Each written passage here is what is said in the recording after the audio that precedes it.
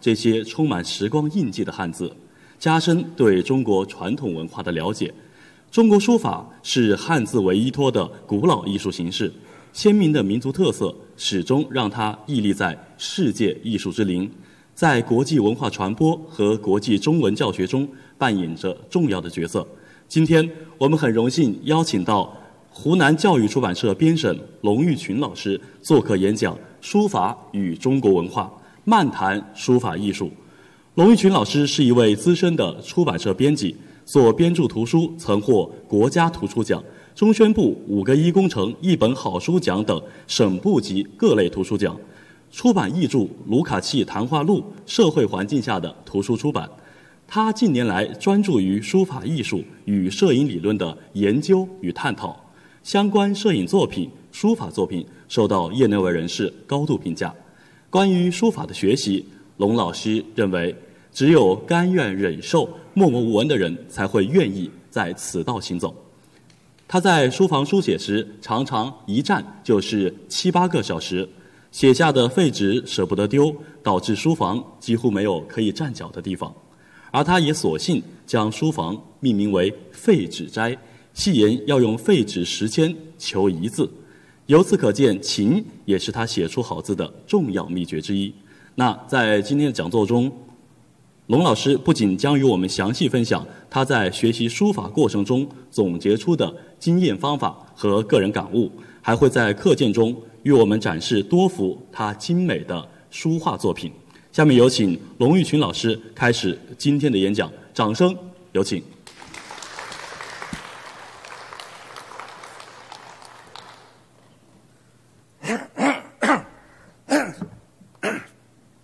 常高兴啊！这个非常高兴，呃，来到再次来到长江讲坛谈说法。我大概是二零一九年的十二月二十八号在这里讲过一次，呃，我的退休生活。那次的讲座呢，我是以这个讲我的呃摄影为主体，呃，讲了一点点。关于书法学习的我的看法，呃，讲过以后呢，很多人说很希望我能够谈谈书法，啊，因此呢，今天又很荣幸的接受到这个邀请，到这里来给大家谈谈我对中国书法的理解。中国书法，我的学习的呢，这个时间不长，我大概是在我退休前几年。才开始玩起书法来，嗯，到现在整整花的时间大概就是十二年，但是这个十二年走过来呢，好像呃取得了比较好的社会反响和业内的认同。这里面呢，我刚才介绍人说我是花了很多很多功夫在玩。确确实实，我在我的生活中间，后来选择玩书法的这个中间呢，我就花了很大很大的功夫。大概每天的平均时间呢，我算了一下，估计大概是五个小时，平均五个小时左右。早上起来，中午、晚上，啊，可能呢就把了很多的时间就花在这个书法学习上面了。但是这个学习中间，我最后自己个人体会很深的，就是一个什么呢？好像就是要对书法的理论上的问题，要进行一番思索，需要好好的理解一下书法与中国文化的关系。因此呢，嗯，我在这个上面呢做过很多思索。前不久呢，大概是上个月的十八号。我在长沙办了我的第一次的书法展览，我的书法展览呢，呃，就是标题就是“与古为图”，龙玉群书法展，啊，那个里面呢，就把我的所有的这个几年来的书法作品做了一个展示，然后里面实际上所透露出来的，就是我对中国书法。与中国文化关系的一种理解，然后我把我这种理解化为了我的书法的表现。因此，今天呢，我很高兴的在这里给大家讲一个这样的标题，这么一个题目，叫“中国书法与中国文化的关系”。但是这个题目它很大，因为要研究好中国书法和中华文化的关系。这个里面呢，嗯，也许我在这里一段时间也讲不太很讲不得很清楚的把这个问题讲清楚。因此呢，我想结合着我对书法学习的方法上面来谈谈我对中国文化的理解，可以就比较具体一点谈一下。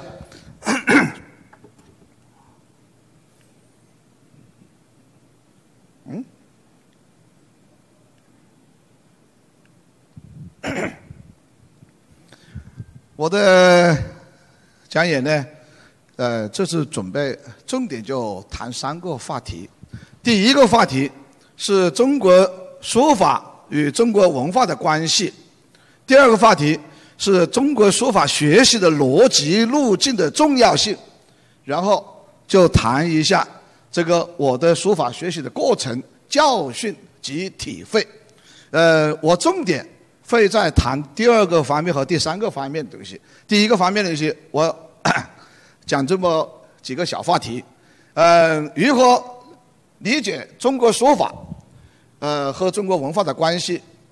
这个有一个很著名的艺术大家叫邢炳明先生，他说过一句话：“中国书法是中国文化的核心的核心。”这句话就把中国书法它的重要的 地位把它突了出来，而且他提的高度是中国书法是中国文化的核心的核心。这个话怎么理解？我觉得呃，必须下很大的功夫去理解一下。在这里呢，我不想多谈，我就想谈两个方面。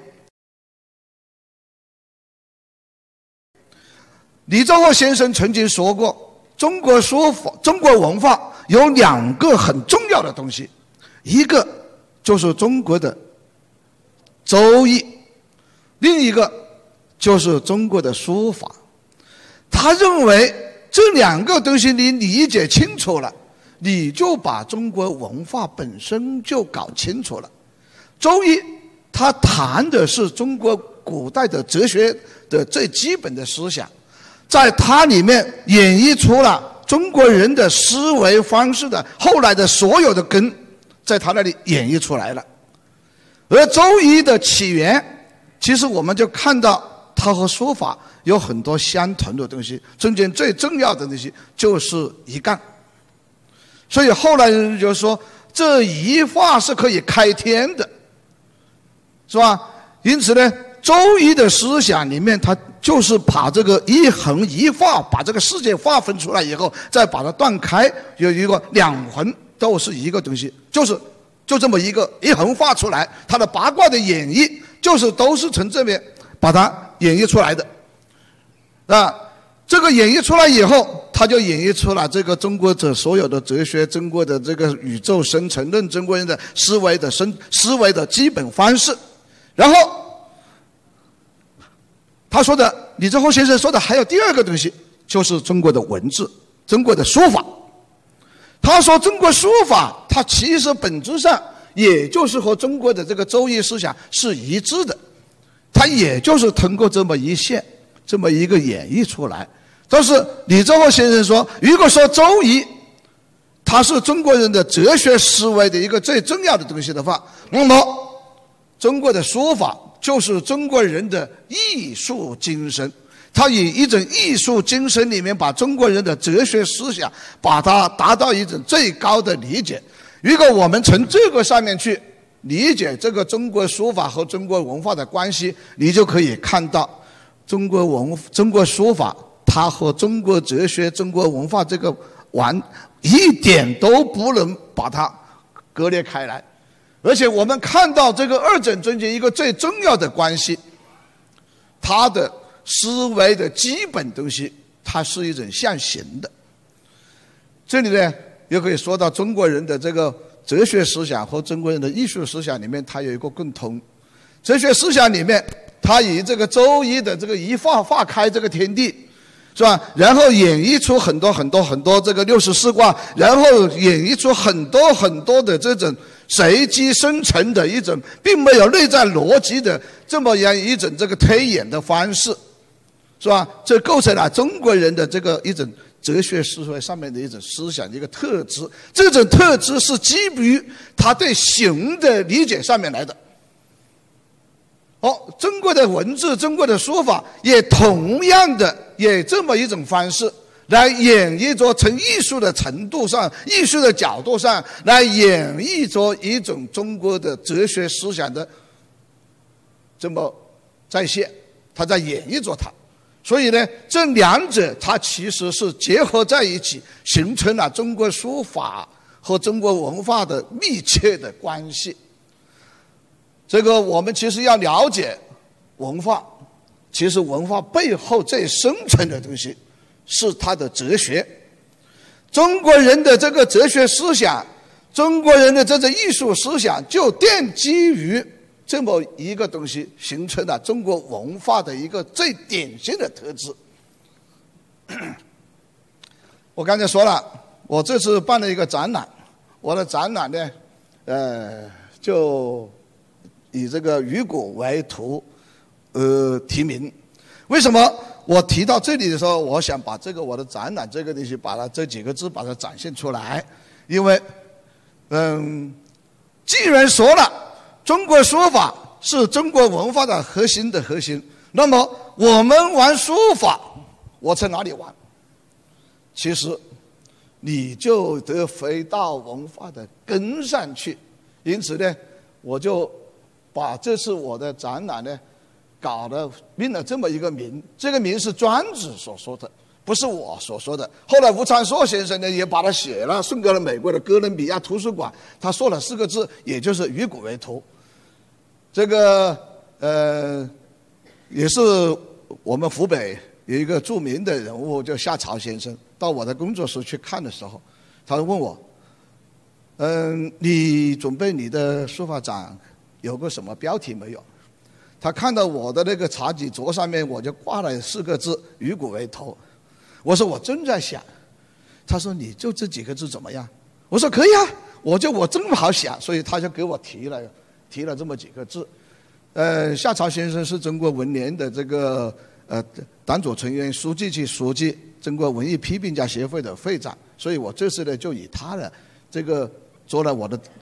这个讲演的呃，我的展览的主题，这个主题实际上我就是贯彻我觉得中国书法它与这个中国文化的关系，我就想通过这个以古为图的这么一种我的感受来表现我对中国书法的认识。因此呢，我我我顺道呃稍微说一下我的这个书法东西啊，嗯，我刚才说了。其实我玩书法时间很短，就十几年，在退休之前才开始玩书法。但是这个中间呢，我曾经是在武汉大学七八年考入武汉大学，参加了第一次书法展的时候，我也去飞了一下好，飞了一下好呢，居然还得过一等奖。但是我后来呢，这个这个发现我字写不下去，那个一等奖觉得就就就觉得是很冤枉给了我的，是吧？呃，因此呢。他我写了好大一幅字，写了四五张宣纸，写了毛主席的一首诗。我清楚的记得写的毛泽东那个小小环球，是吧？这个我一画画了四张宣纸。然后你得了一等奖，要展示出来，要展示出来，要放到武大的那个橱窗里面。橱窗他说你必须缩小写。我拿那个笔，我缩小怎么写？我写不下去，没有功夫，没有基础，因此呢，我就从此就没有再写过毛笔字。啊，三十多年时间没有玩过，然后呢，到了我快退休了，我说我曾经还有一个爱好，也还得玩一下吧。然后呢，我就开始捡起来了。捡起来怎么玩？这就是我开始认真思索这个话题了，是吧？现在思索完了，结果你看看，这么多人给了这么高的评价，是吧？给这么高的评价，这个评价里面，我我自己现在看起来我都有点不好意思说，是吧？所以我就不说了，是吧？但是这个中间呢，我想有一有两个小故事说一下。第一个故事呢，就是说八十年代时候，我在上海去参加一个重要的会议。会议里面有好几个书法大家，这个美学大家，然后写了，大家都写两个字，我也啪啦啪啦写了两个字。写了两个字的时候呢，中间有一个高尔泰先生，搞美学的高尔泰先生，他对我说了一句话：“小龙啊，你充满一股才气。”哎呦，我当时蛮高兴，就是说他看到我的字啪啦啪啦写起来有才气，但是我想他还有一句话没说。这个没说这个话是到了这个三十年以后，二三十年了，到了我开始玩书法了。二零一一年开始玩书法，玩了半年多时间，呃，我把我的东西一写写出来，人家觉得你很有一点东西，很有才气啊。有人说你这个字别人二三十年找不到感觉，我就高兴的不得了。然后我就去看了长沙的一位一位书法大师，那位书法大师叫李立。李立一看我的字。我就说李老，我来请请教你看看我的书法怎么样？李老坐在上面九快九十岁了，把桌我把字摊在地上，他看不看？看一眼，龙老师啊，你要我说真话说假话？啊，就这么一说，我说当然来听真话。他只说了这么一句话，我再也没请教他，功夫还不够啊，是吧？他拿着这个长沙腔，功夫还不够啊，龙老师啊。好，然后这个话一说完以后，我就收起来就走了，是吧？收起走了以后，然后每天就是我刚才说的，要下功夫去了。怎么下功夫？我就觉得，不仅仅是下功夫的问题，我要好好的去理解这个中国书法，他应该怎样去理解它，从哪里下功夫。我半年我玩书法半年，人家说我别人玩二三十年找不到这个感觉，那么说这里就提了一个什么问题呢？可能有很多人玩了一辈子书法，没感觉，他就玩不上去，为什么？想来想去，我就思索说这么多人玩，为什么玩不下去？原因在哪里？我就思索这个问题。我说我绝不能走他们的老路，我们一定要对中国书法做一个认真的做一番反思。而我是学哲学的，武汉大学七八级哲学系的，后来又在武汉大学读了哲学研究生，是吧？哲学研究生我读的是西方哲学史，我就很想说，我们一定，我们这些人玩书法玩什么东西，我不能随便玩。我不能跟着人家的路子后面爬，我要好好的理解一下书法背后的东西，它是什么。因此呢，我就有很多思索，是吧？思索里面，我思索的最重要的一个问题，一个话题，就是我准备今天重点讲的一个东西，就是说，我要为我们的书法学习找到一个逻辑的路径。这个路径很有意思啊！我要找逻辑的路径，我不是给你们找一般的路径。一般人的路径是不是？我们都是人云亦云，老师告诉你，那从唐楷玩起，从什么什么玩起，你就这么玩下去。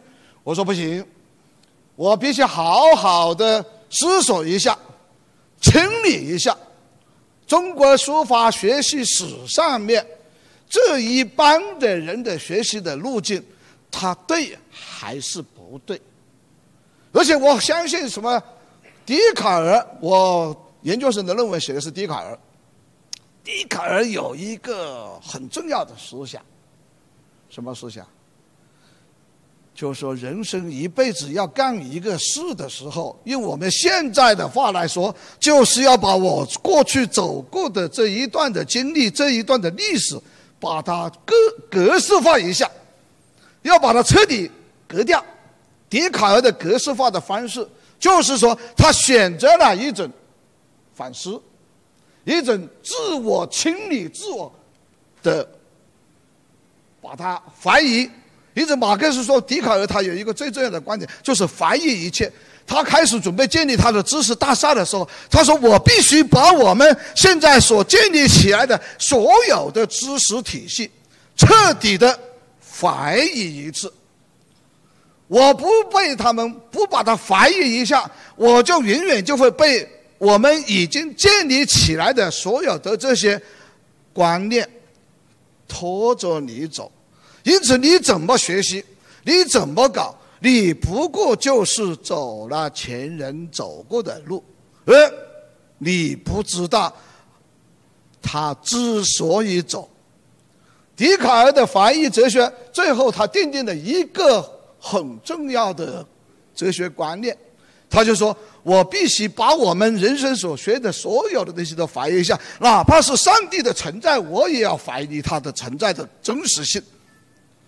但是他说：“我这个怀疑不是彻底的怀，不是那种那种怀疑主义的怀疑，而是要在这个怀疑的基础上面，给他找到一个不可怀疑的点，建立起我的知识大厦。”他甚至说：“如果我能够找到这么一个点，在我的宇宙中间，在这个星空中间，能够找到这么一个点，我可以把地球撬动。”因此。他实际上是这里就告诉你，你找到这个点，你是可以实行革命的变革的。因此呢，我就在认真的思索，我们这个书法学习的逻辑路径要从哪里走起？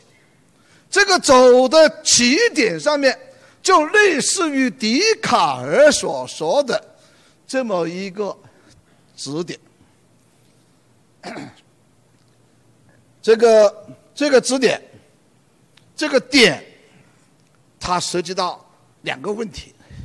第一个问题，我说它是有两个起点，中国文化啊，这个学习的这个起点，书法学者，说我说它涉及到一个很重要的话题，就是说这个起点，他找到它应该是历史的和逻辑相一致的这么一个东西。因此历史的观点观点来看，它应该是中国文化的起点。是吧？嗯，文字本身是分别于文明与野蛮的一个最重要的标志。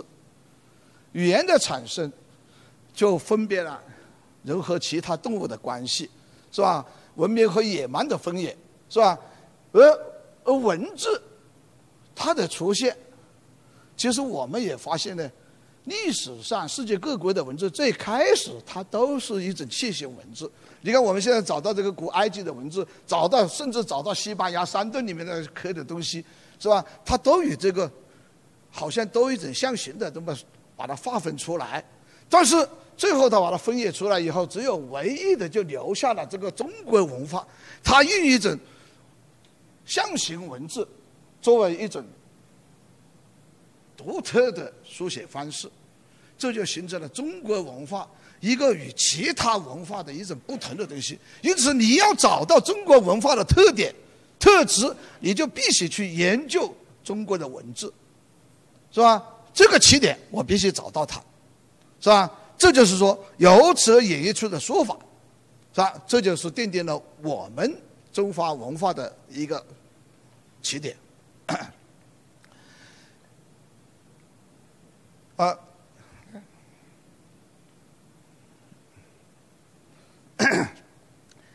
这个，嗯，也也就是这个东西啊。下面呢，我就想说到这个，呃，书法学习的起点。呃，我对于书法学习的起点呢，呃，我有很多思索。你看这个上面我写的是为什么是隶书，是吧？这个但是呢，我这是进行一番批判的思索，啊。来提出了我的书法学习的观念。其实，呃，我刚才说到找到文化的起点，也就是要找到历史的起点。但是呢，我们现在又看到书法的学习的起点，我说呃是隶书，但是好像与这个历史上中国文字的发展它不一致。中国文字最早出来。它是甲骨文，它是经文大篆到小篆，是吧？它是演绎了这么一条路径，是吧？而且呢，我们甚至可以说隶书呢，啊，那当然我们可以这么划分一个东西啊。刚才我说的甲骨文、经文到大到大篆、小篆，是吧？这里面呢，还是有一个很重要的文字文字学上的不同，它是属于古文字，古文字，它不是我们今天所要所讲的我们所谓经文，今天的文字。因此呢，我在这里呢，我以主要的以书法的学习来讲啊，我是主要是以经文为特点，因此我把它的起点呢往后推了，推到经文字学习的这么一种起点上来。这里面还有一个很问的问题，就是说这个 啊。啊，我我刚才应该是说是楷书啊，我但是我等一下我再说隶书。现在我还是把我把把我这个观点接下来啊，接下来呢，但是我们说说到后来呢，这个我们的学习，我说是从隶书开始，这个它还是有另外一个东西，但是我们看到历史上面呢，它又还不是从它开始。隶书的前面是那个简牍啊，那些什么东西。它从这个经文解体以后的直接的书写，就形成它这形成这么一个特点，是吧？所以我是说呢，我是说到要在找起点的时候，我是找到它。但是我刚才说，我现在回头一看，我是写的是楷书。我现在要跟你说，为什么不是楷书？啊，我在说为什么不是楷书？为什么这个观念太深了？呃，就好像笛卡尔他要证明他的这个起点存在的时候，他要把很多很多世俗的观念都把它批到，批到以后，他再确定不能那样，不能这样，不能那样，不能这样，是吧？然后确定它。所以我想呢，关于起点学习的时候，我想讲的第一个话题就是说，为什么不是楷书？啊，嗯，前不久呢，我为了我的展览写了一幅字，啊，我给大家看一下。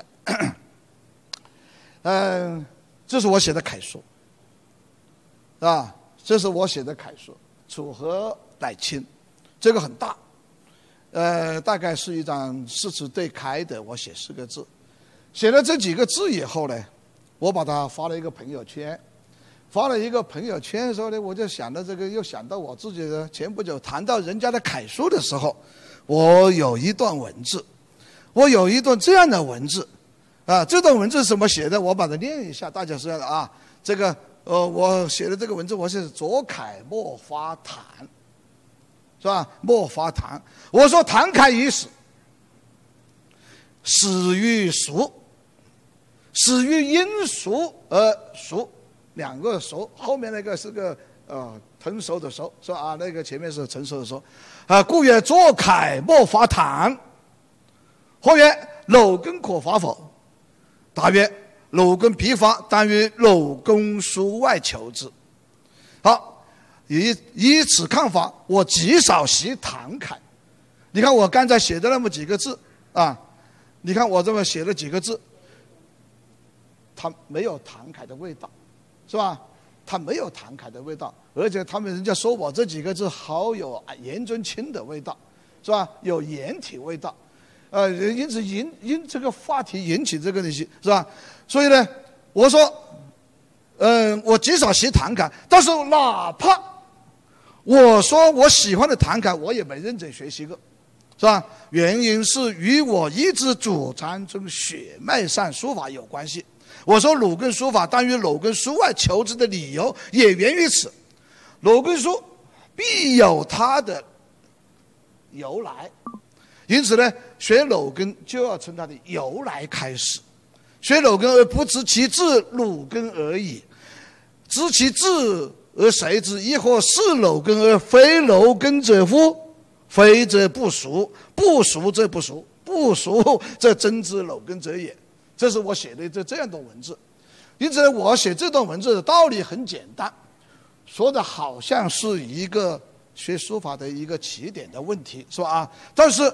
嗯，我就觉得这个里面啊，它涉及到的是一个很重要的问题，这个书法学习和中国文化的关系问题。也是涉及到书法学习之逻辑与数学逻辑的关系问题。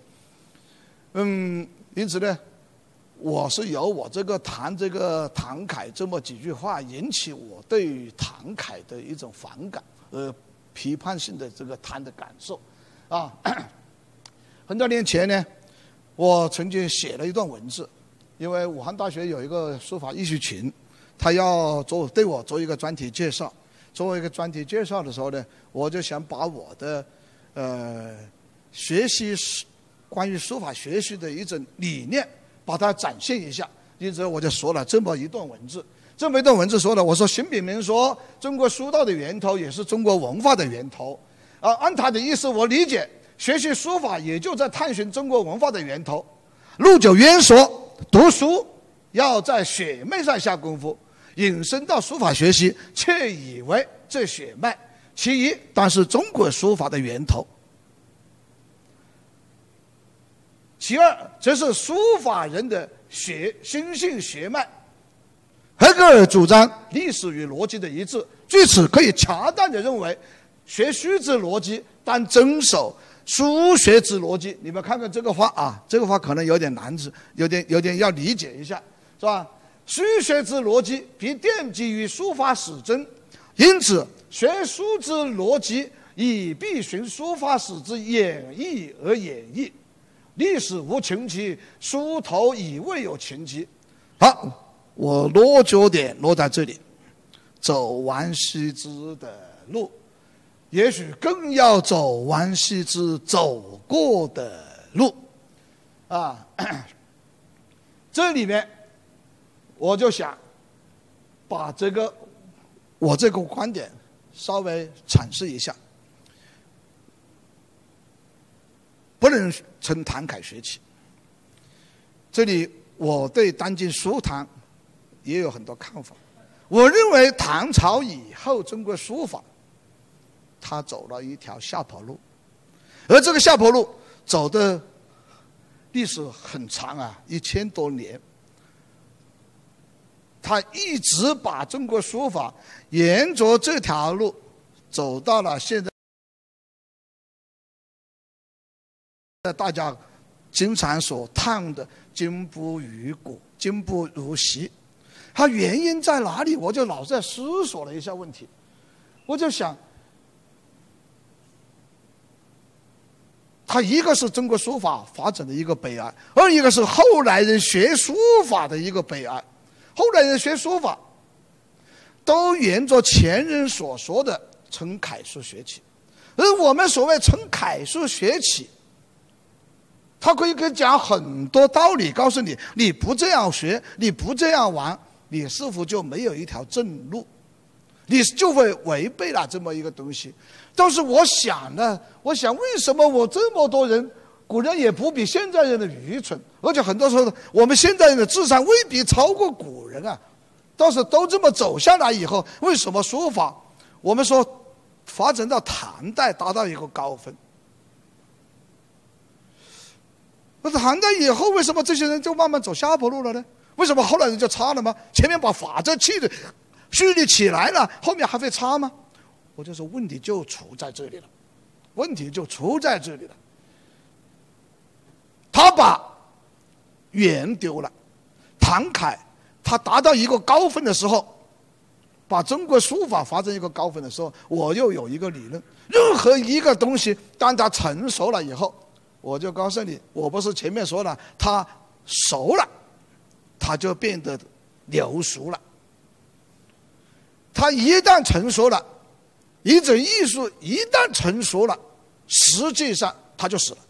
所以我说唐楷死了，是吧？那么我怎样沿着这个中国书法的路子要走下去呢？我怎么走？我还得走啊！这个前面的好东西都留下来了，是吧？但是我怎么怎么玩？我怎么能不能把它？我走出一条新路，我就不那么在流熟到那个里面去？我能不能做到？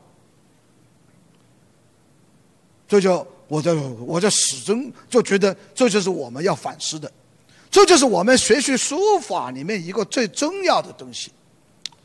因此呢，我的反思，唐楷不能学，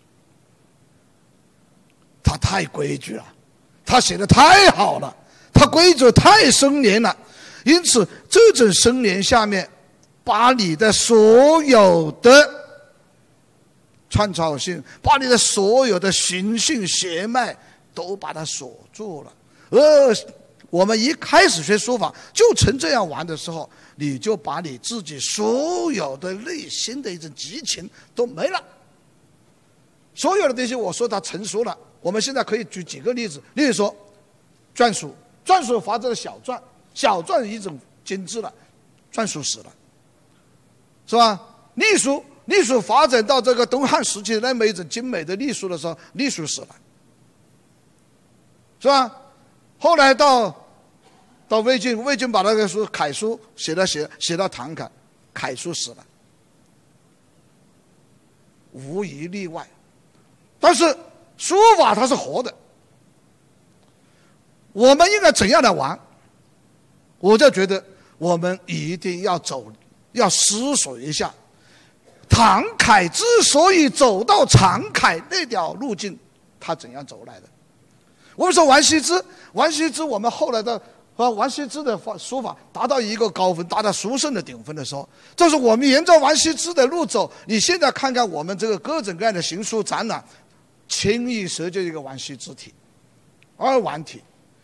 学下来的时候，最多了不得，就是说比谁学得像，比谁临得好，临得更熟。但是你一看，我现在我看了这东西，我一看我就不看完，边上一扔，我说是的，没自己的东西。那么我们该怎么走？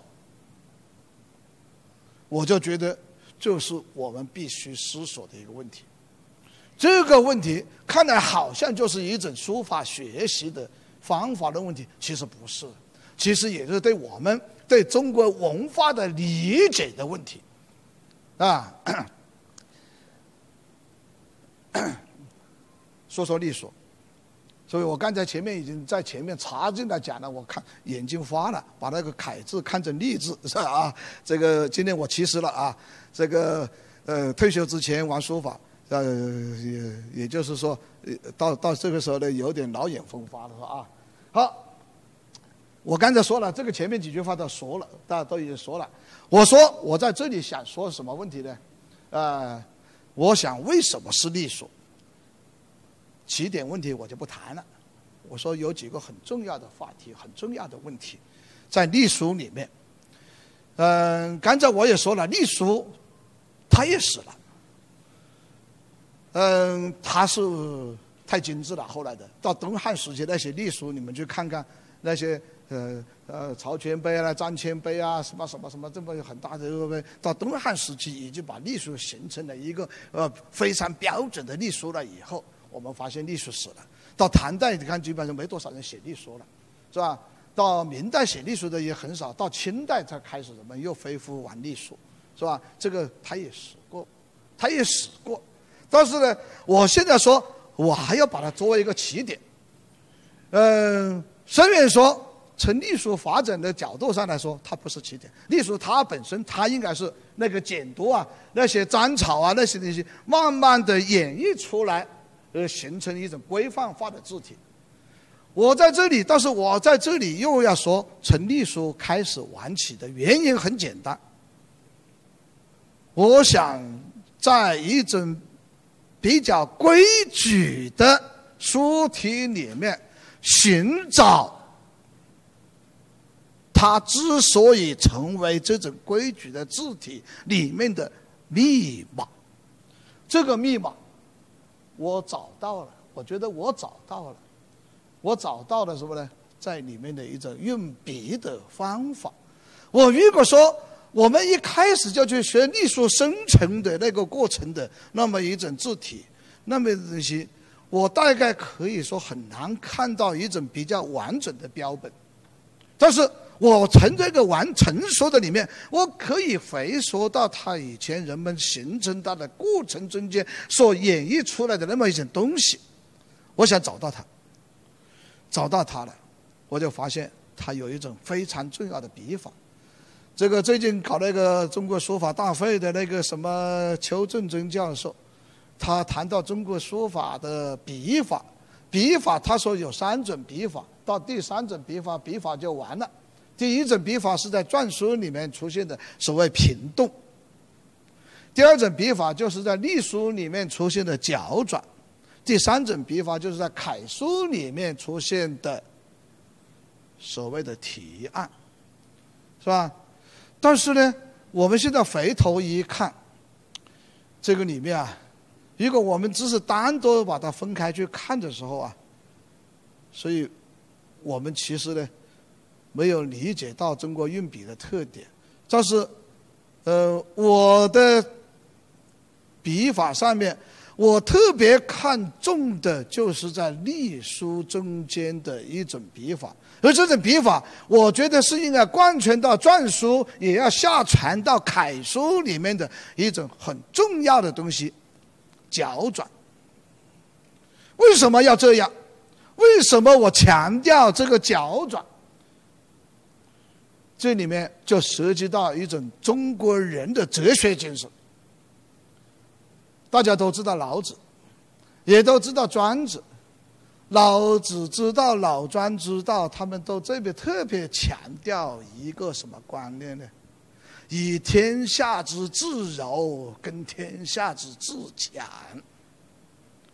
中国书法的一个矛盾，最大的矛盾是什么？我就思索这个问题。这个最大的矛盾。其实就是当你拉起毛笔的时候，你就感受到了的。那支毛笔它的豪悍，那个羊毛也罢，兔毫也罢，最大的特点就是软，非常非常的软，非常非常的柔。所以蔡邕说：“唯其软，则奇怪生焉。”他是把这个毛笔的一个特点，它就是软，软了以后可以生很多奇怪，这是一种现象。但是它最大的问题就出在这个软，它软和的刚强里面，它是一个矛盾。而中国人所说的要以天下之至柔而跟天下之至强，那也就是说要把你这个非常非常柔软的笔。写出一种非常强劲的力量来，然后你在这个强劲的力量里面，你看到这个软的这么一种力量。所以中国人特别强调，以阴克阳，以柔克刚，是吧？他强调这么一个东西。那么，这样一支软软的笔，你怎样写出来强劲的力量？而我认为这就是说，我们应该要展现的这么一种东西。而我以为，唐楷的征虚，他强调起笔和他提案这个转，但是他的行笔过程中，你们无一例外的去看他的字，我等一下可以给大家看一些字的啊，你无一例外的看到他中间是虚的。他那个线条走过去就是平平的，因此他在这个里面，他没有理解我们学唐楷的，他没有理解背后的中国文化精神。中国文化精神是干什么？我要以以水性之柔而更坚强，我要以把这个千钧之力要化为绕指之柔，绕指之柔要聚千钧之力。也就是说，我们这个柔软的毛笔，我要把我的千钧的力量聚到这个上面去，要这个聚了天钧力量的东西，我又还要体现中另一种和重要的中华文化精神。这种精神就是说，它至刚，而且它有一种至柔的方式来表现，它不会以一种外在的夸张，不会以一种外在的张牙舞爪来表现，它还是最后，它以一种很柔的方式。给你展现出它内在的力量。那么东西，这种力量怎么用？我理解，我研究那么久，搞了以后，我认为啊，就只有好好的去掌握这个脚转的功夫。脚转设计是什么功夫啊？我们可以看看我的这个下面下面举的几个例，是吧？嗯，这是我写的一幅字，这幅字呢被别人收了，但是我说我这里面写错了一个字。你看“千里墨远平”那个“墨”字我写的墨不的墨了，是吧？这个墨不的墨了。我说，他说他也收，他也收，他喜欢这个东西。你看啊，这个字，我们就看他。我看一个字，你看看我这个字写出来，你是不是觉得我这个字好像就是在岩石上凿下来？有没有这个感觉？啊，你再看几个字，是吧？它就是一种这样的岩石上面凿下来的感觉。你看这种字，是吧？好，你看，你看这几个字，这个字，我同样就是一支很遥远的毛笔写的，但是我为什么可以写出这么强大的力量？这里面我就说，我在脚转上面做了很大的功夫。为什么是脚转？为什么脚转它可以产生这样的？脚转有一个重大特点，唐代的张凡过说是裹束，行笔中间是裹束。裹束是什么？把这个身体把它裹起来。这个脚转，你说它这个行笔中间把这个中分垂下去的时候，你这种平拖过去，它就不是脚转。好，当你把它在行走过程中间带有一种很强烈的脚的这么一种势的时候。它会形成什么呢？你那个边上的风啊，它会围着你这个中分在转。当你行走你这个笔，行走你中分在转的时候，你这个毛笔使劲立起来以后，它就具具有了一种非常强大的刻石的力量。所以你看我这个字，有人说我这个字不论是用入墨三分。呃，力透纸背来形容，他说你这个是可以用入石三分、力透岩壁来去来说，就好像你在用一支软软的笔，以刀做的力量，把它做出来，让它把它产生崩口。里面这个我这个写真间，我书写速度是非常快的，但是由于我们这个脚转，你看什你想一想，这个笔锋垂直边上的边锋边。边上的那些分影，它围着中分在转，它会出现长短不平的变化吧？它自然就形成分口、崩口。因此呢，好像这个里面出来以后，它就展现出来一种很有历历史这个这个刻石的那么一种感受。所以我说，在隶书的学习里面，我们找到这么一个东西来啊。我这是说了半天，我这说的第一个话题是说用笔方面肯定隶书，现在远远还不够。其实我更想谈的是什么啊？隶书里面所含的中国文化里面的一个最重要的审美精神啊，这个中国文化的审美精神啊，其实。它的奠定时期，我以为在汉代，啊，在先秦汉代这么几百年中间，这一段时间啊，他把中国文中国人的审美的基本观念奠定下来了。这个东西呢，我们要怎么说？我如果这么说，你可能还不太清楚。我做一个中西的一个比较，你就可能理解了。这个 中国的隶书，最典型的表现了中国人的一种哲学精神，天人合一的一种哲学精神。而呃，这种哲学精神里面呢，它还表现出来是中国人的，也就是一种美学的一种取向，美学的一种基本精神。而这种精神，我们可以看到啊，它和西方的美学取向、美学精神，它是不同的。呃，我们看看这个呃隶书的特征。我说它有几个这样的几个特征啊。这个第一，它是横向取势，是吧？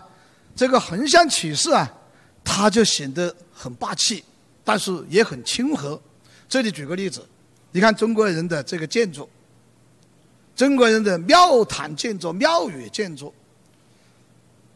它都不高，它都是横向起势下去的。你看下去，好像呢，它好像这个建筑的压得很低很低，而且还一个很大的顶压住它。但是你最后发现，这个顶压住它，它好像它也不把你压死。它为什么？它一种隶书的一种基本就是，它两头又是微微的翘起来，要就有停易软，是吧？它易软的时候呢，它一翘起来，那个压着力很重的东西以后啊，很霸气的东西。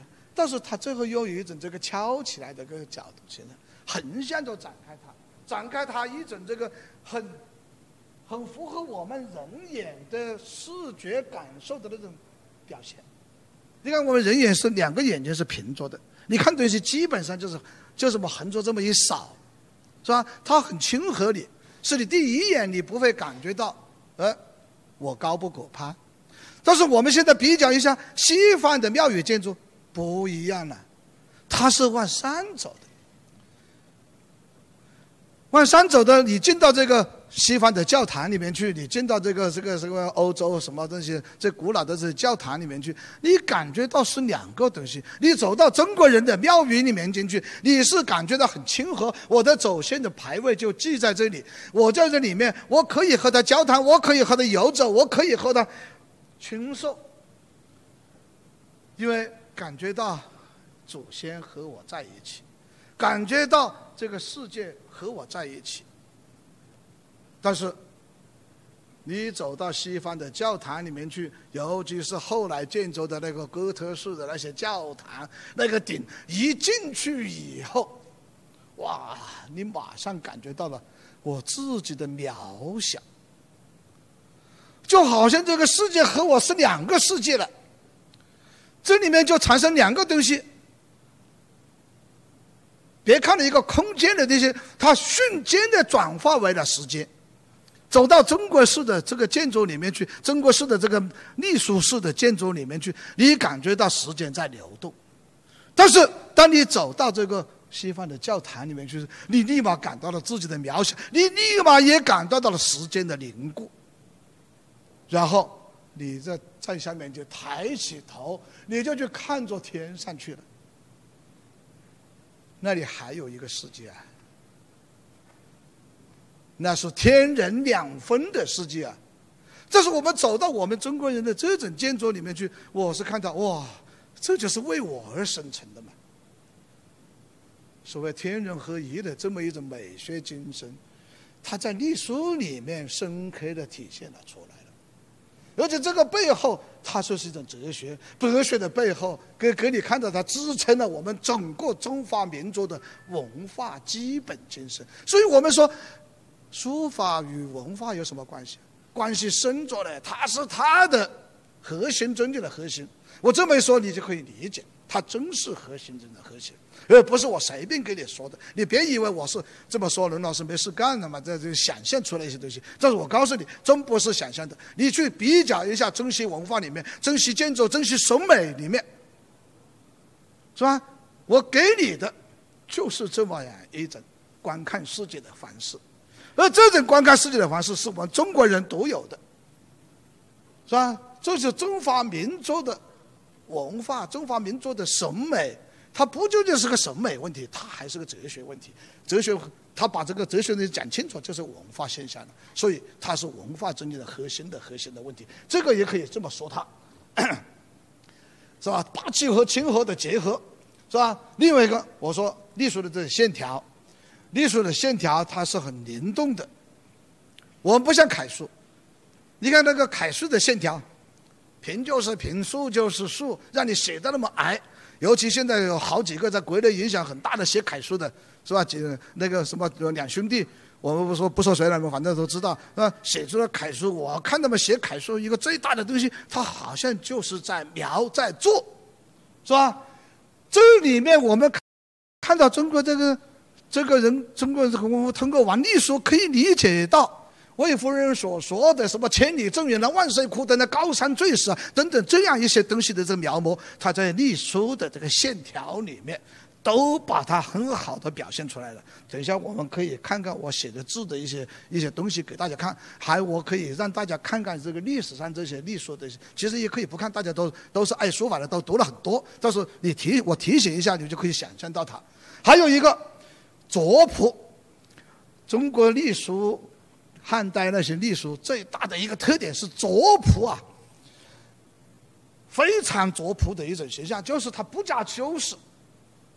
他好像有点小孩子一样的啊，自自然然的写将出来，是吧？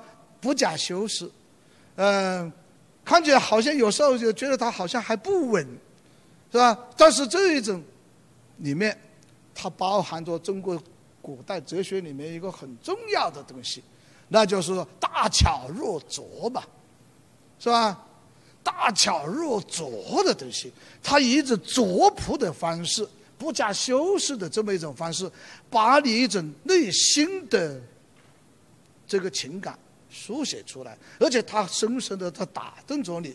这个精神，也就是中国古代哲学精神里面讲究的最多的，例如老子所说的大巧若拙，是吧？庄子所说的既雕既琢，弗归于素朴，是吧？这么一种东西，在隶书里面，这种精神基本上都表现出来了。而这种精神直接的在汉代的绘画艺术里面，在汉代的雕塑艺术里面，都表现了出来。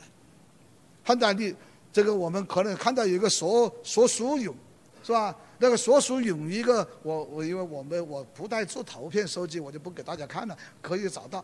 说书人那个一个腿弹起来，那个笑的时候那个神态，那个拙朴的样子，简直把所有的神都给你全骗了。你在看他那个说的时候，哎呀，你就感觉到这种为什么可以这么美？这种隶书就把这种拙朴精神把它表现出来了。这里也又可以说个小故事。我有个朋友在唐在长沙潼关窑，在做做一个陶俑。他那个陶俑，他就是竹把那个脚凸起出来，他发给我看，我说做的很好，很精致。但是我后面说了一下，我说你看过汉代的那个说书俑的那个那个那个陶俑看到过没有？我说你去想一想他那种东西，那种不精致，那种没有什么雕塑，但是我看你的时候，你太精致，就是没有那一种拙朴的感受。我为什么看后来说？我跟他说，我写了写到唐楷，写到写到我顺便我说一下，我是很不喜欢蓝田序的啊。我就我说我是为什么不喜欢蓝田序？我说他写的太精美了，是吧？太精美了以后啊，他丢掉了很多东西，是吧？他丢掉了很多东西，他没有那一种人性的这个自然的生发时候的不加修饰的那样一种情感的直接表露。我喜欢祭字文稿。那多好！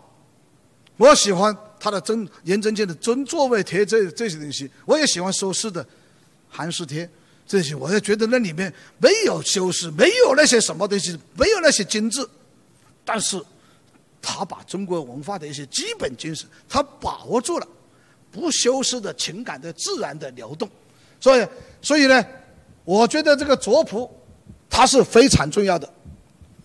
还有一个隶属里面。乐感，乐感呢？我其实刚才呢，也基本上也说了一下了。你看它那个线条的起伏性，它不是那么平的，它是一波而三折的，是吧？它就是呃无平不劈的，它所有的平它都是有这个起伏的，聚在在里面，而且它这种起伏里面。他把一个本来是一个凝固的东西，他给予赋予了音乐感受，也就是说，他把时间的东西，把把这个东西时间的东西，一种凝固的方式把它展现出来，把一种固定的东西，一种时间性的东西把它展现出来。其实，时间化为时间性的东西，就是化为了时间的艺术。时间的艺术是什么？就是音乐。它就形成了一种音乐感，它的这个字的横向的铺转、横向的流动展现出来，它因此它它充满了一种浊感、一种乐感，而这个乐感里面，它就是说，充分的也把这个中国古人所强调的一种审美达到一个高度。孔夫子说：“是兴于诗，立于礼，而成于乐。”要成为音乐，才是最高的审美。而音乐里面最讲究的是什么呢？是韵，要有一种韵。所以呢，到魏晋时期啊，人们说。魏晋善韵，那么韵是什么？我们现在看到的韵是一个音字旁一个均匀的匀字，但是这个韵呢，它最开始它是土字旁，叫均。嗯，这个他们谈到中国古代的音乐的时候。有一个词叫做成军、调军，也就是调军、调成军是个什么意思呢？就是把乐队把它统一起来、声音起来，把它分好。但是我们想一想，这个中国文字很有意思，由土字旁要卷到音字旁的时候，其实我我自己做作为一个遐想，我感觉这里面呢，他又把中国历史又演绎了一遍，啊。他把历史又演绎了一遍，演变的时候呢，你说他是成军，把说是调乐队，就是你想的那个时候，他成军，他肯定是与土地、与土地相关联的了，是吧？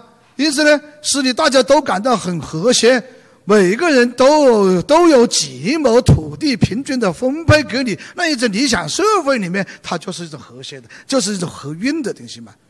它就是一种调均的过程，就是成均的过程，是吧？后来我们这个到魏晋的时候，把它这个就是均土字旁演绎成为了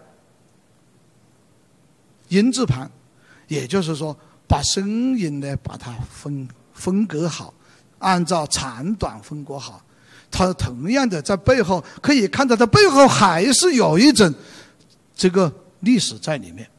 是吧？有土地的分割，大家共享和平，共享一种这个三亩之巅，这数字以上啊，是不？这呃，有一个什么什么物啊？孟子所说的这么一种理想社会，他都给了你，给了你以后，人就可以手之舞之，足之蹈之，是吧？他就音乐了，他就成于乐了，是吧？他就给你了这么一种东西。所以呢，我就觉得啊，这个在隶书里面。他展现出了这么一些精神，啊，这个，呃，这么精神展现了以后啊，这个我想呢，呃，把这个呃基本的东西呢，也就简单的说了一下了。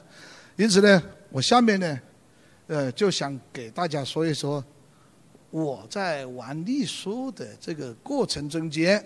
我是怎样走过的一条路，是吧？前面刚才说我们要找到一个书法学习的起点，这个起点我排除了很多，我把楷书给排除了，我把这个呃斩草啊什么这些我也排除了，是吧？其实呢，这种排除是暂时的把它搁在一边，不意味着我不再玩它，但是。我是说，我要找到一个比较好的起点，让你站在这个起点上以后，你能够很好的往下面走下去。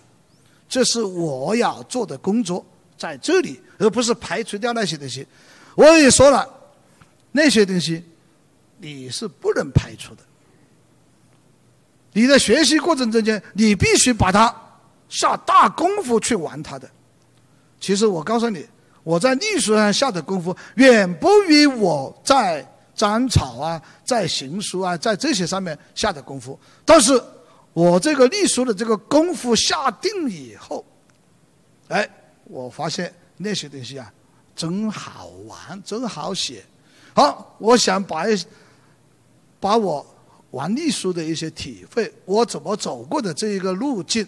给大家讲讲一下，我主张，我现在带我的学生啊，呃，我学生不多，我只带了几个，嗯，我带他们玩的时候，我毫无例外都要他们。我说，你跟我学，我们批判一下，批判完毕就是我刚才已经批判完的东西啊。批判完毕以后，我们建立一个起点，起点呢，回到历史上面。我说来这么一个起点，先玩张前辈，啊，呃，你看我这里说了，从张前辈入手，得其卓朴厚重。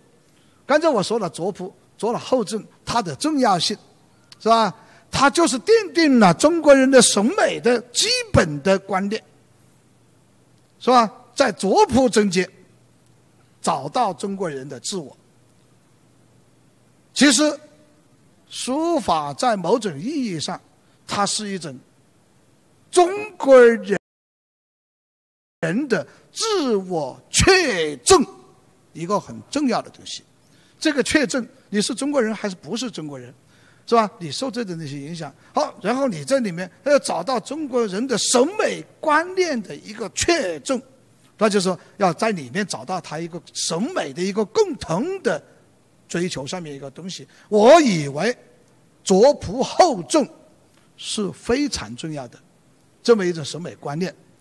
第二呢，我要我也要他们玩玩曹全碑，曹全碑呢很俊秀，是吧？那很俊秀，呃，在一种卓朴厚重中间，我觉得你太拙了、太厚了呢，可能就是也会绑起来。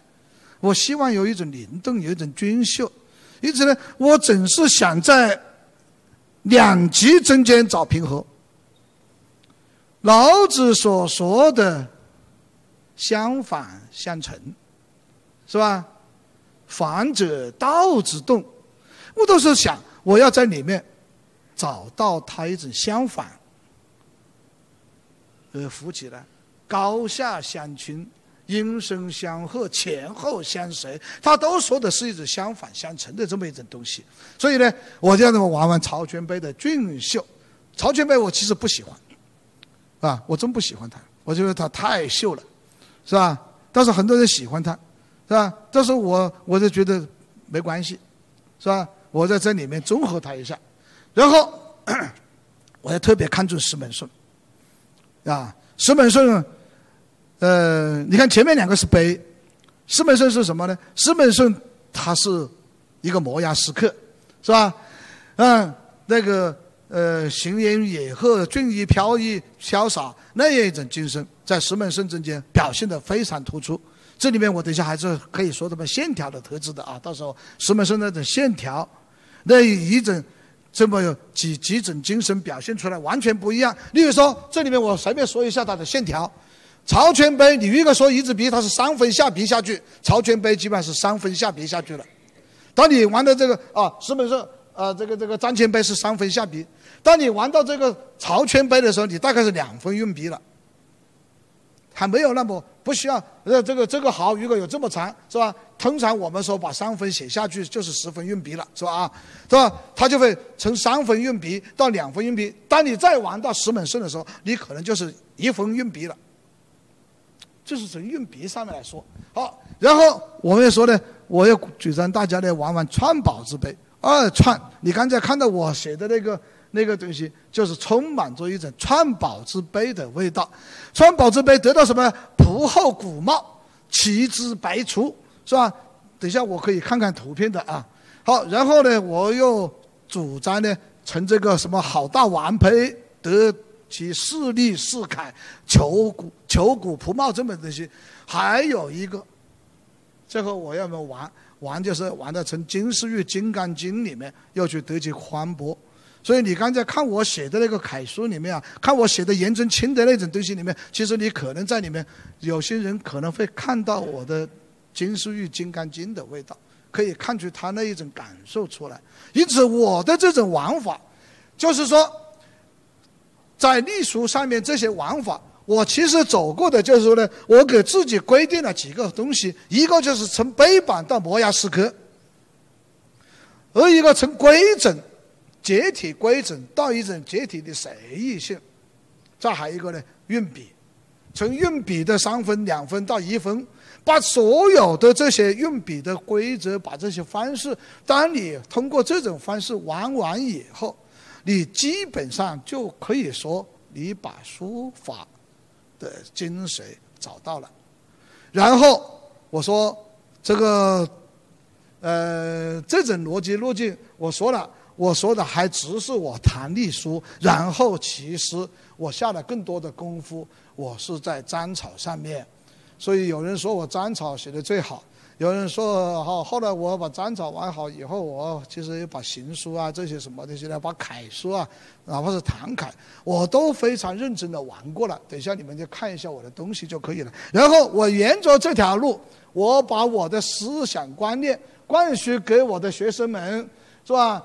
这个刚才我这看到这些碑啊，这这几个东西呢，就是为了我们做做做几个做几个呃。呃，证据的说啊，例如说张前辈写是这个样子，你看他一种波普朴朴实实的样子，方方方方朴朴，是吧？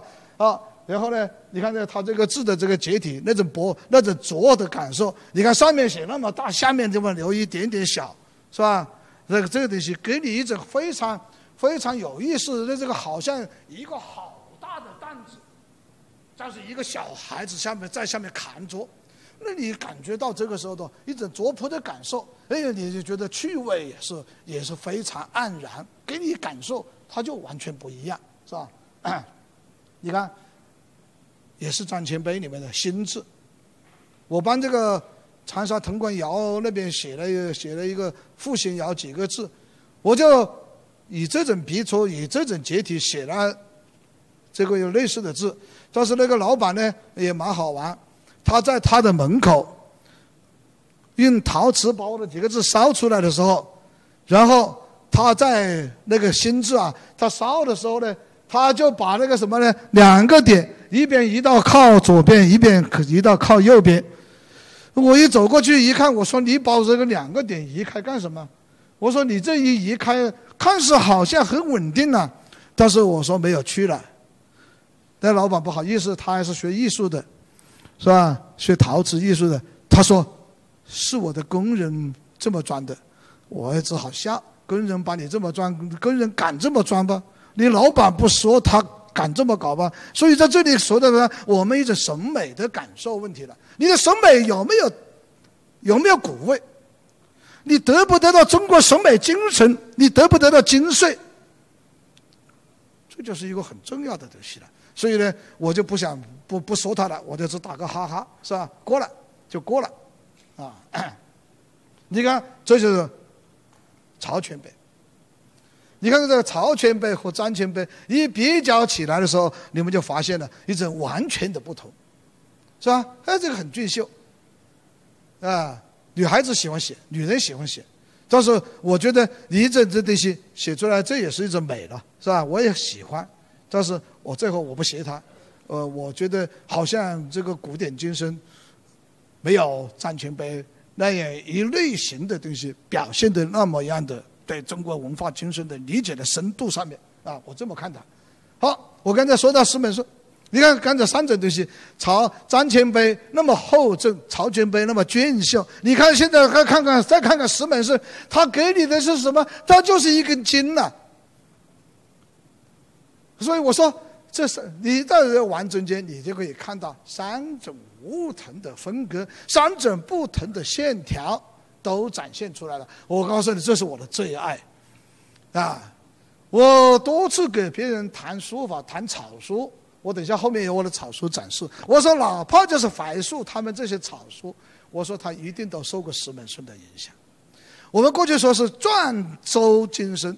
草书里面篆州用笔，篆书的那种用笔，其实这里面最典型的表现，我觉得在石门颂上面。你们看这么一个小线条，就那么一根筋，但是这根筋你可以看到以后，它是非常强大的力量在里面的。它就是饶子之饶而化了千钧之力啊！你们去写，我跟你说。基本上写不出来，但是跟我学，很快就可以写出来。为什么？我刚才跟你们说了，透了一个秘密：我们脚转用笔啊。当你脚转用笔的时候，你就可以很轻灵的写出这种风格的字来，是吧？这种字的东西它很重要啊。这典型的表现了中国人的哲学思想、审美观念呢。以天下之至柔，跟天下之至强；以至柔之浩瀚，呃，聚绕这个千军之力，扰扰行其间。好，又是闲云野鹤，是吧？所以这种东西，这个东西很少有人敢玩它，但是说法界现在都在玩它。因为清代有一个叫张祖义的，他说过，近三百年来没有人敢玩石门胜的。为什么？啊，石门胜那种行气豪迈啊！胆小者不敢玩，力弱者玩不了。你力弱，你就只能一根线条写下去，但是你写不出这种神气来，写不出这种味道来。所以呢，啊，这个是如果你们要玩隶书，我倒觉得你把前面两个玩过以后，在这上面一定要下功夫，把那种厚重的东西，它一种很轻柔的线条写出来。闲云野鹤啊！什么叫闲云野鹤啊？那种飘逸精神，这就是那个，一直是中国士大夫的一些很大的精神啊，是吧？他又把它展现出来。你看看他的随意性，他写那个命字，啪，他不受你的拘束，一下占了三个格子，伤寒，是吧？三个字那么高，他也可以随便。所以有人说他是隶书中间的草隶，这就是一种书写精神啊。好，这就是我后来说的川宝之碑。你们看川宝之碑，它有曹全碑的那么张全碑的那么一种味道，但是它的结体的随意性，你看看，它这个结体不那么方扁了，不那么平正了，它很随意，展现出一种造型上的一种自由精神。而自由精神恰好也就是中国文化的一种精神。他是写新的，我等一下再说这个哦背后的话，是吧？这就是好大王碑，你看它方方正正，线条也没有什么变化，但是它还是你可以看出，就是没有什么变化的线条里面，它还是凝聚了很强大的一种结构、一种力量啊。好，这个呃，刚才这里呃，我们就已经实际上就把这个话已经说完了啊，这个。下面呢，呃，我想，呃，给大家看看，呃，我这条路，我怎样带学生，再举一些小例，简单的说一下，然后我再说一下后面的话题啊。这个我带的这些学生，都是五十多岁，呃，跟我开始学书法的年龄大致相当，因为我今年七十了，是吧？啊，这个玩了十几年，这个和我大致相当。而且，都还有一个特点，零基础，真是零基础。呃，这都是跟我玩的不长时间。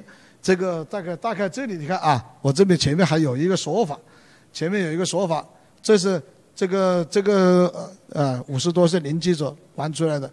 这个这个是湖南省建行他们搞了一个书法家协会，请我去给他们当老师，都是一些五十多岁的，而且女性为多。啊！我到现在发现这个那个女孩子好学，比男的这个这个她敢求是吧？他们去玩的时候都零基础，零基础。你看我这么玩，完了按照我这个笔触让他们去教，他们居然就是这是三个月玩了三个月的时候，玩了三个月时候写出来的字。我说你们写到现在九个月了，我要他们下个月办一个他们的书法展览。是他们现在正在办他们的展览，正在写写的那些，如果有有到时候有幸，我到时候把发给发到网上给你们看看他们的字，是吧？这三个月写出来的东西，就是按照我所讲的笔触，你看他们的笔触写出来都是一种角转，你看到你就可以看清楚，它的横不是平的。都很类似于我写那个字的时候这么搅过去，你们平时都会这么走过去。我不是我说笔，你要这么给我走。你看大臂带动小臂，这么一个脚的这么一个转动过程中带起来，而且这个大臂带动小臂的时候，还有一条，我还经常说，你可能看到，其实我们玩书法很类似于打太极拳，全部让着你顺着这个符在走。所以呢，就像一个太极拳，因此书法的精神和中国的。太极精神，它其实是合在一起的。它在里面又体现了一种最典型的。书法文化。中国文化的。一种追求，就是一个太极拳的。过程之间，你必须的。顺着自然的。方式来书写。啊，这里啊有一个话题，我现在顺道先说一下。说到这里，我也想说了，中国书法有一个特点，它是写的，我们叫写字。中国绘画也叫写，写是什么意思啊？你玩了这么久书法，你如果不理解“写”这个字，其实你白玩了。你对中国文化你就没有一点点基本的了解。字一定是写的，写是什么意思？其实，可能很多人知道。但是可能很多人没有认真思索过“写”是什么意思。玩书法，你不能不懂一些基本的文字学上的意义的东西。例如“写”这个字，它就是群头。例如说，我们现在喝酒，都会给个装上一小针给你，边上倒个小杯子。喝酒的时候就是写，这个大杯子里面倒到这个小杯子里面去，这就叫做写。写的意思就这么一个意思，也就是说它是群头，它叫之无，把一个东西倒到另一个里面去。后来加上三点水，加上三点水，也是更形象的告诉你，它就是水斜下去，流斜下去。这个字的意义太重要了，伙计们、同学们。哈哈哈。真太重要了，他把一种你的这个书法的基本精神告诉了你，你就是不是在描字吧？你不是在磨字吧？你不是在像写楷书那样一笔一画的去搞吧？所以从那个角度上来说，你们一开始学书法，就开始去描写、去临摹、去搞那些东西的时候，其实他错也错在这上面去了。它是心的倾吐，情感的倾吐。因此，当你每一笔画下去的时候，你一定是一种情感，你一定不再是什么我在磨字，我在写人家。所以，好多书为什么都是他是一群而下？夫人绝叫三两声，满笔正分千万字。他是这样来的了，他是情感的表达，所以你只要很好的掌握好了这些东西，你就可以把它玩下去，是吧？不然的话，你真不懂什么叫中国书法，你还是那么平平稳稳的去写，哪有像这种东西啊？三个月时间，你们想都不可以想到，是吧？三个月写这个样子，你看，这也是三个月的，你看呢？好，后来他完了以后啊，我说。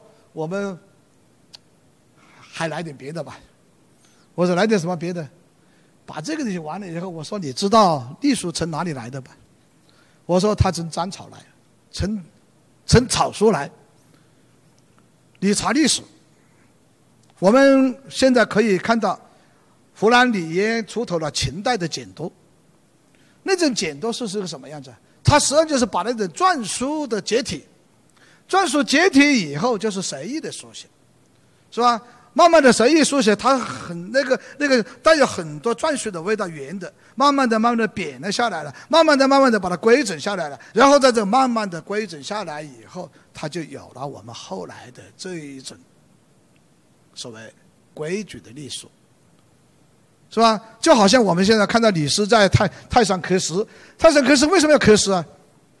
他就是秦始皇统一天下以后，他想要统一文字，他只要统一了文字，他才可以把他的政令全国到处通行。所以我们在这个角度上来说，当一种字体写成规矩字体的时候，我告诉你，那种字体就成了公文了，公文字了，公文字了以后，它就是一个模式。就好像我们现代的这个公务员写写东西，用一个模式给你搞搞下来，它没有生命力了。它就是唯一的一个东西，就让你清清楚楚的看清楚这个字，然后写得好，啊，规规矩矩看下来，因此他没有这种精神。所以我在这个玩了这个戏以后，我说你们一定要往前面去搞，搞清楚我们这个字是写的，写的它就要怎样的随意。因此呢，我就让他们去转过去，我说你们玩玩那个，玩什么？斩草。玩斩草的时候，我又给他们说，哎，我这个观念有很多时候也很有意思啊。我也不要他从简牍玩起，我说你还是从规矩斩草玩起。规矩斩草是什么东西啊？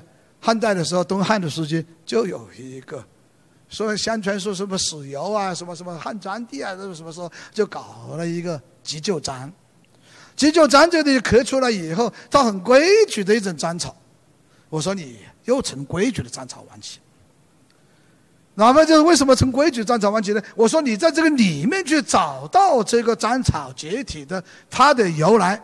在这个规矩里面的东西，找到它怎样走成为规矩的这个过程来，然后你在里面去把它这种笔触把它找出来，然后把一种自由的书写找出来。因此呢，我的学生们来玩了以后，他说：“哎呀，怎么会这么教教学生？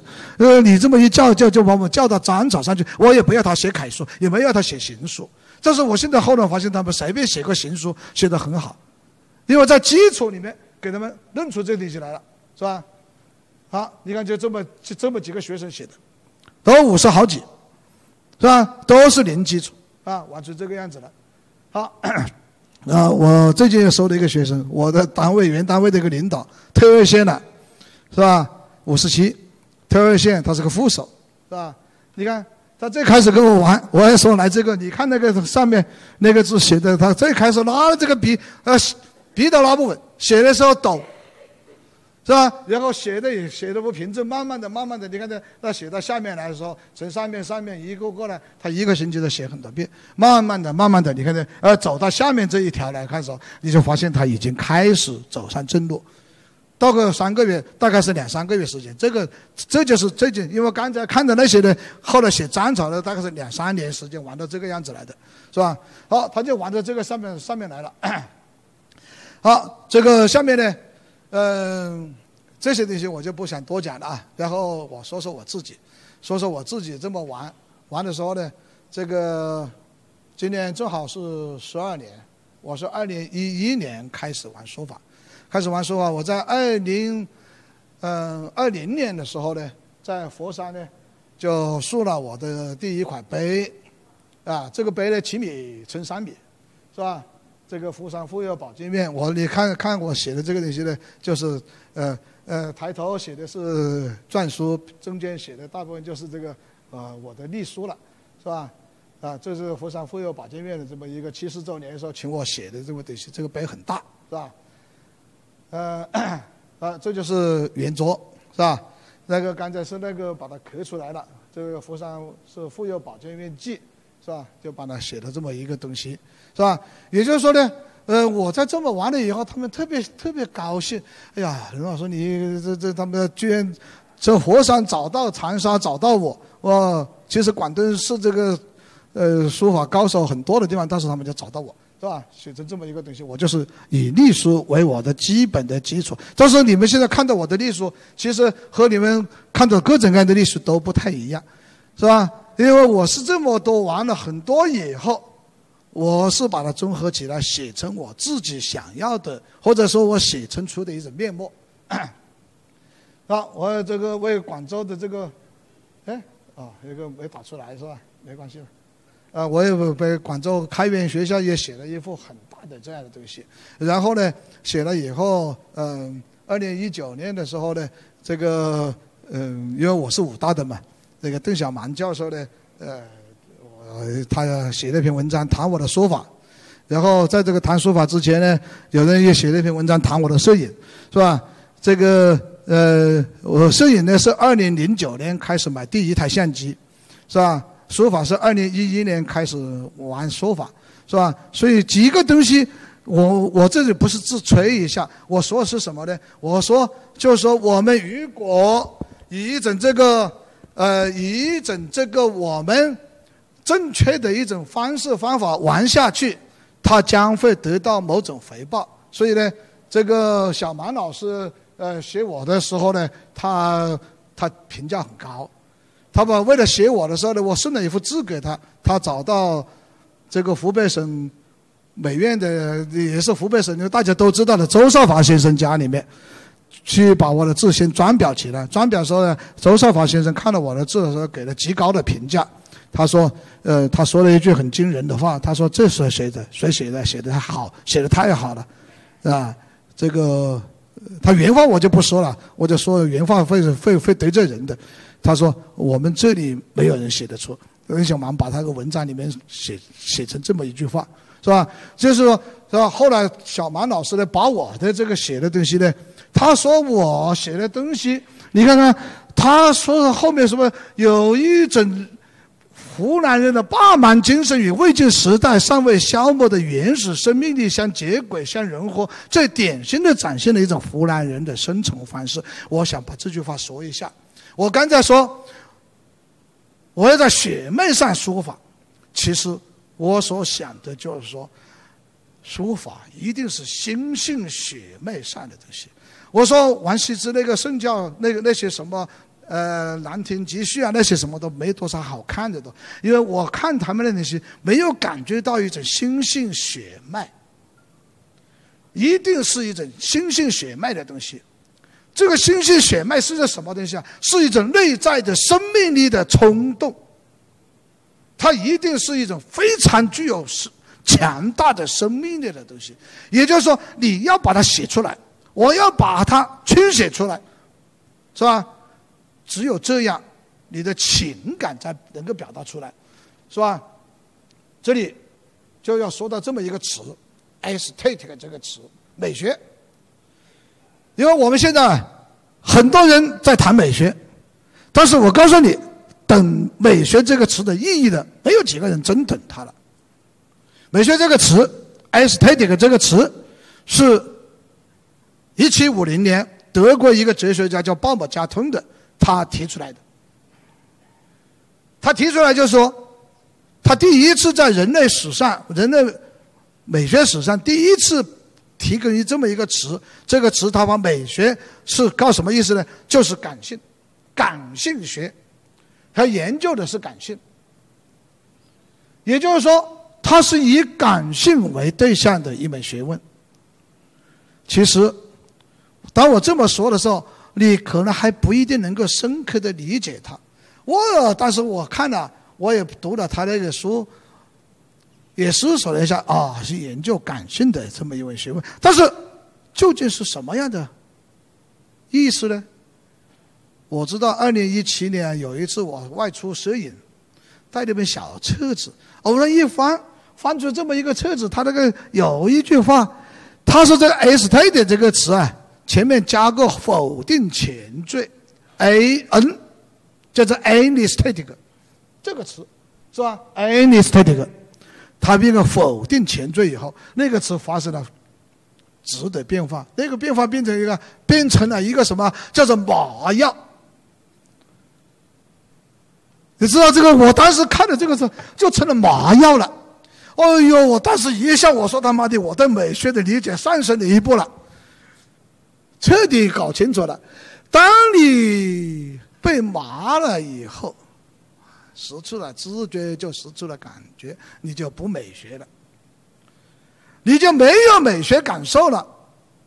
但是，你只要你有感性还存在着，那么你一定就在审美着，因此，你就是审美的制造者，也就是。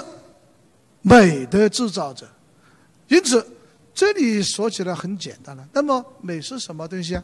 你看看，我下面又有一个文字，又有一段话，啊，嗯，这是邓小蛮教授他谈到美的时候。邓小蛮是我的呃师兄啊，也是老师，是吧？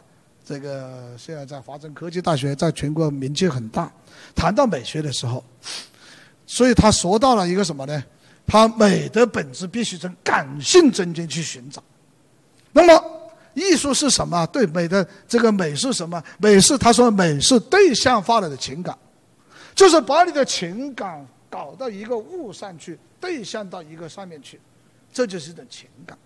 艺术是什么呢？艺术就是你这一种情感的对象化。你有很多情感，把它制造出来，把它表现出来。美感又是什么呢？它就形成就是艺术嘛。美感是什么？美感就是人从对象化的情感中感到了一种情感的一种共鸣，然后你把你这种共鸣的活动，这种审美活动传达给大家，因此我们就完成了一个审美活动。当我们这么去理解美学的时候，你就可以搞清楚。其实我们在玩书法，也就在玩美学嘛，也就在玩艺术嘛。呃，艺术这个说起来也就不是那么高深了嘛，就是你的情感的对象化嘛。把你的情感对象化出去，你能够使大家在你的对象物中间，使大家找到一种情感的共鸣，你就把你的传达任务出去了吧。你的共鸣越强，你的艺术感染力就强吧。你的艺术的感染更强，实际上就是你的情感表达更强嘛。因此，没有什么书法也不高深，也没有什么东西，你一定要依着你的情感去写。这是为了把你的情感很好的表现出来，你走一条正确的路，你使你玩起来、书写起来。不会感到枯燥，不会感到麻烦，不会感到我写两下不想写了。刚才我那个学生中间有他有一个是学艺术的，中间断断续续写了好多回，跟老师学了好多回书法，写两个月不写了，写两个月不写了。我为什么不写了？写不下去啊，路子不对啊。你说一开始要你去写楷书，那么一笔一画，一笔一画，哪个小朋友？哪个人有这个坚持心？即使你有这个坚持心，你把你的楷书写得很好了，你最后发现你没有情感。你现在我看那么多楷书，千篇一律，我一看完别上一旁，别人问任老师怎么样，我一看，别上没意思。我说为什么？我看着就是千篇一律啊。我说人类的情感是多种多样的嘛，你每个人都有不同的情感，你要把它写出来呀。知道我说的写的意思了吗？你要倾吐出来呀，而且你要一种强烈的方式把它倾吐出来呀。你方式越强烈，你的感染力越强，你感染人的人力量也就越强。所以，我认为书法就要这么玩，是吧？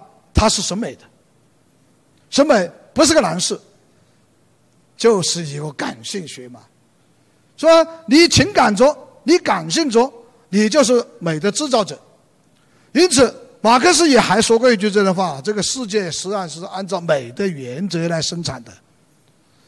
你们在家里面随便摆个物件，女孩子喜欢摆的整整齐齐，那干什么？美啊！你要在家家里做一个东西，男的去做一个工具，做一个什么东西，把那个磨得干干净净，搞那个东西干什么？美啊！那美就是愉悦的嘛，是你。所以这么一说，其实我们就是个美的制造者，我们天天都在制造美，因为我们天天都在感性，我们天天都在感性做，因此我在审美做，我在审美做，我也就在制造做，不然没有东西，是吧？但是你想做一个好的审美者，你就要了解背后的一些 know how 诀窍，所谓技术诀窍，你要知道它怎么玩。好，你知道怎么玩？我要走一条怎样玩的路，走得更好，这就对了。这就叫做书法学习的逻辑路径找对了，是吧？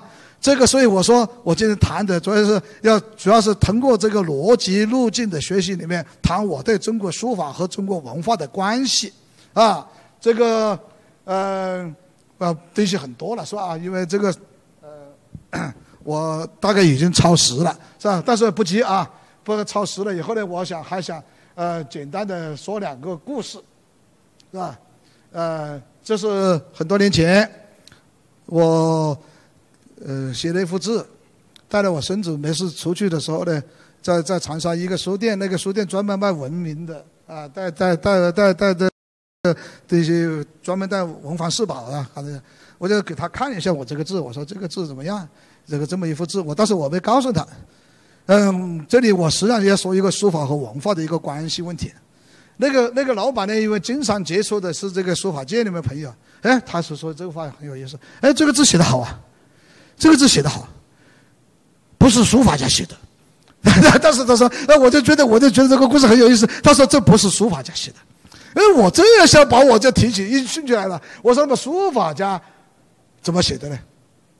他是书法家，尤其书写那些参赛的那些人写啊，他里面就是找技巧。他是这里面，我说这个字呢，这个字充满一种文化。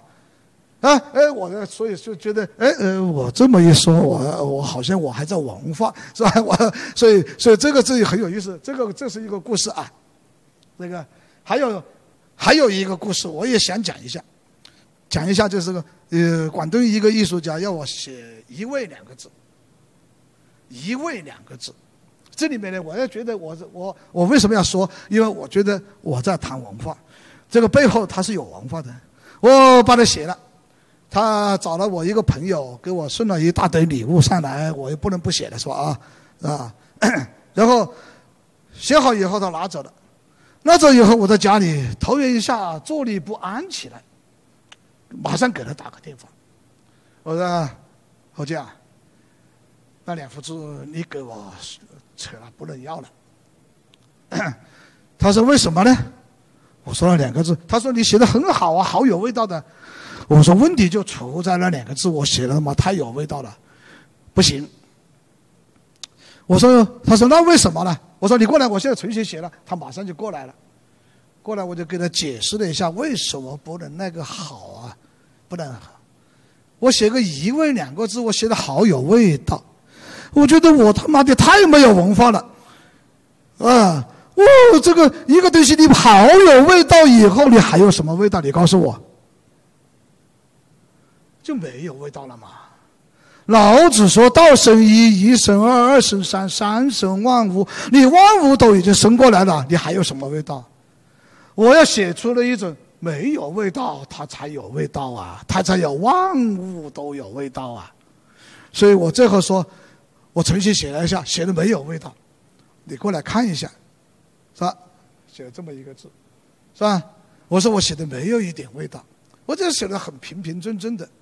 但是你们看到我写这个“一”字，这个“一”字不是谁可以写得出来的，两头基本上都是九十度的断笔，是吧？收尾还也都是一样的，你怎么可以写出收尾？他们基本上也就是一个九十度收出来，没有味道啊。稍微有一点点往上面翘一点点东西，是吧？我就觉得这个里面的，这就是你别看了，这个“一”是最难写的，是吧？我说这里面把它写出一种没有味道，它才有味道了，啊！它这个很多东西就在这个一横里面啊，这一撇一捺里面呢，没有味道，平平整整、平平和和，它才有味道。因为道生一，一生二，二生三，三生万物。在万物中间，它就是一定是从一个最开始的东西生长出来。你把什么东西都写好了，没意思啦。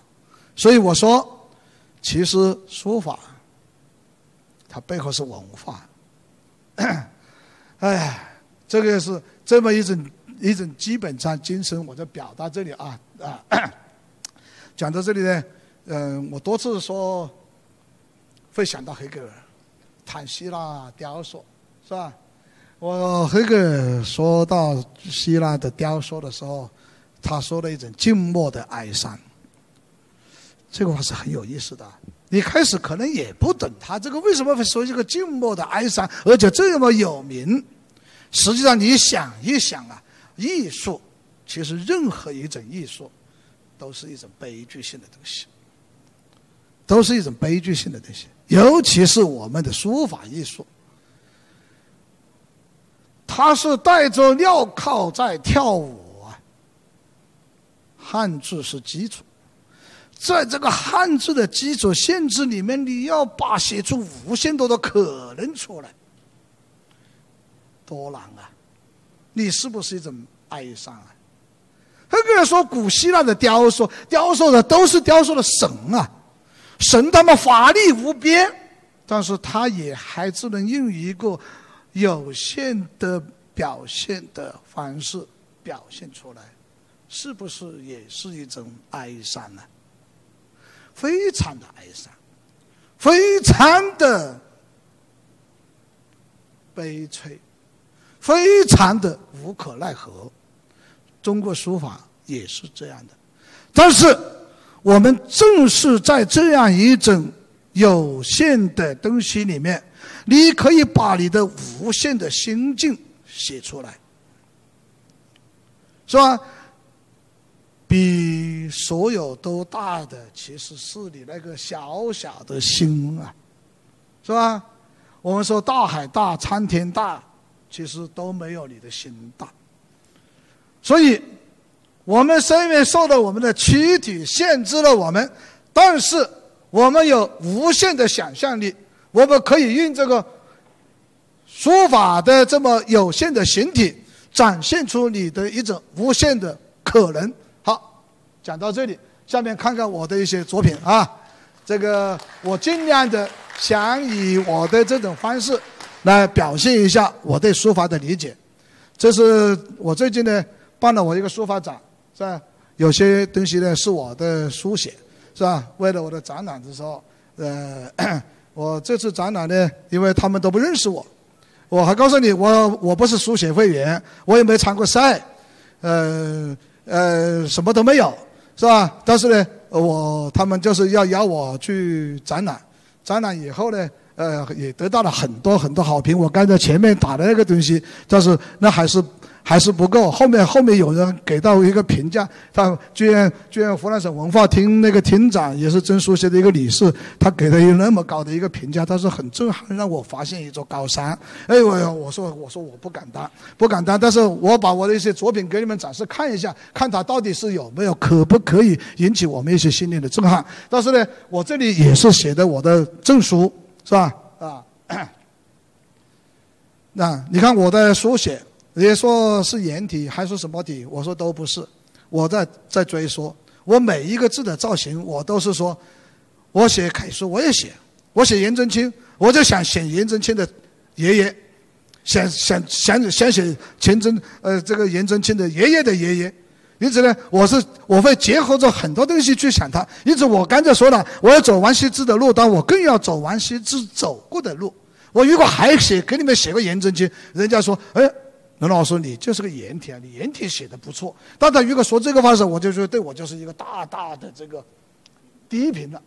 我也觉得就是这个漏了，不好，是吧？我在写这些，我就想结合了很多东西，我在寻找他怎么来，颜真卿怎么来。我可以以后写出我从他的路走过来，我要走出一个王真卿、龙真卿、张真卿、李真卿，可不可以？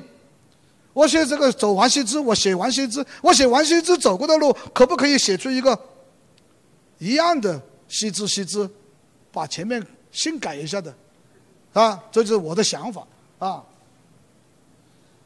你看，我也写了很多证书，我要你们不写，别写楷书学，但是我后来也会以很多方式写证书。但是我的证书里面，我是情凝凝聚了很多情感的，我对对书法的理解的啊，啊，这也是这个六尺的写的东西是吧啊啊，看我的楷书，基本上呢，你也可以看不出哪个唐楷的哪个的，你看不出来的。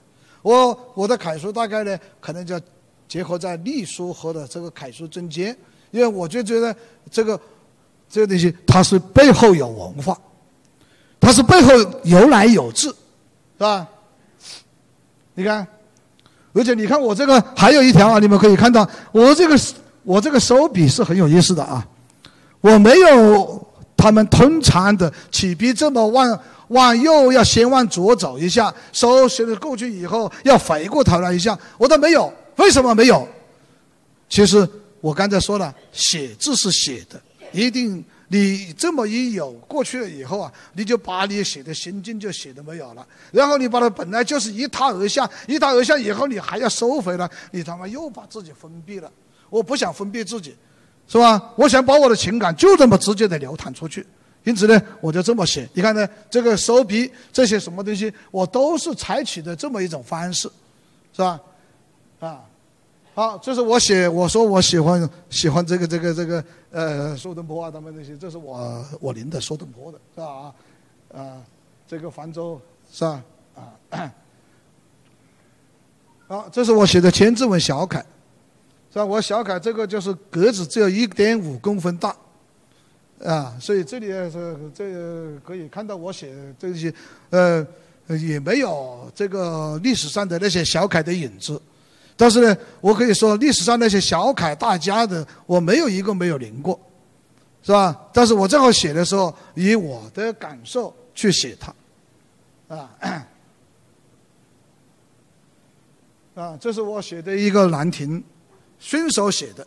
我就说以我的这本书写方式，是吧？这个呃，随手写的一个行书，是吧？啊，这就是我呃随手写的呃一一一一个一个小品是吧？写了几首诗，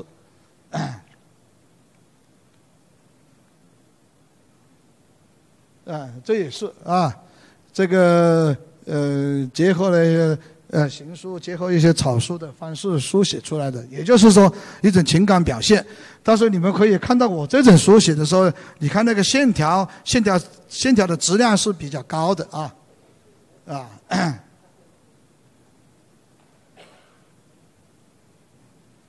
这是个呃，这是一个六尺的，啊，六尺是大笔给书写的，是吧？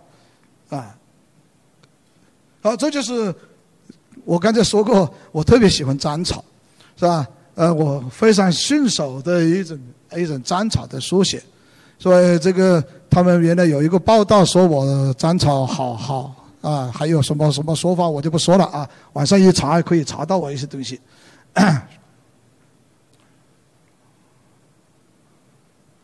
啊，这这也是我写的一个草书。我的这个草书呢，嗯，和现在很多人的草书不太一样，因为我重视的是章草的学习。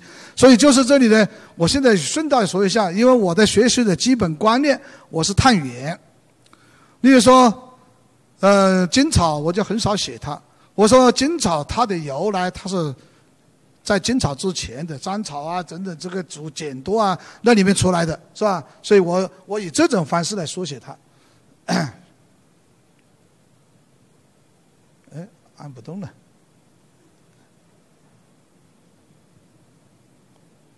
啊，这个是一张八尺的，这个八尺的呢，这个我这次展览的时候呢。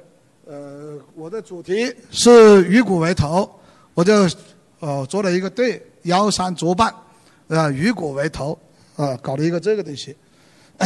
好，这就是我刚才说看到石门顺的时候，我想给大家谈谈我的这个草书的由来。你们看我这个线条，就是那个石门顺的那个草书的线条，是吧？这种线条这么这么写下来的时候，你可以看出它。很强大的力量，但是它就是一根筋，所以它很难写。你看这也是一样，是吧？